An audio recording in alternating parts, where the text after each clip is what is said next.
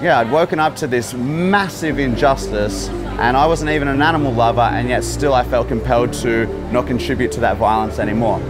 I always believed the same thing. I never cared about animals. I never thought they were important. I saw them just as plants almost. You know, there's humans, there's animals. It took me a while to really connect because I'd never really been around animals much. Now I realize that humans are just another species of animal. What we share is so much greater than what we don't. We all have a heart, we all have a brain, families, communities. We eat, we breathe, we sleep, we don't want to die. When it comes to eating a plant-based diet, a vegan diet for health, I was always under the impression, being a personal trainer for seven years, that you could not be healthy as a vegetarian, let alone a vegan. I'd always believed that you needed meat for protein, you needed dairy for calcium, you needed eggs for omegas.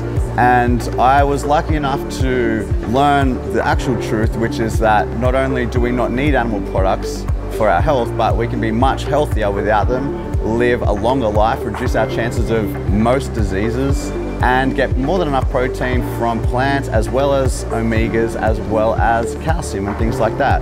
Some of the strongest and most elite athletes on the planet are doing so on a plant-based diet. But I have more energy, I recover faster after workouts. I don't train anywhere near as much as I used to, but I find it so much easier to maintain a lean, healthy, strong body when I cycled across Australia the 5,000 kilometres, which is about 3,000 miles, I did that all on a plant-based diet. There's also this sort of idea that you need to eat meat to be manly, you know, and that's very much seen in the health and fitness realm, but actually there's nothing manly about paying somebody else to kill an animal for you.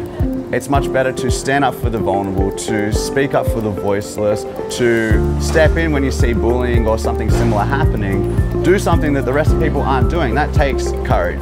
I'm just trying to increase the peace, to do it from a place of patience and understanding and compassion and respect and just try to, you know, improve the way that animals are seen on this earth.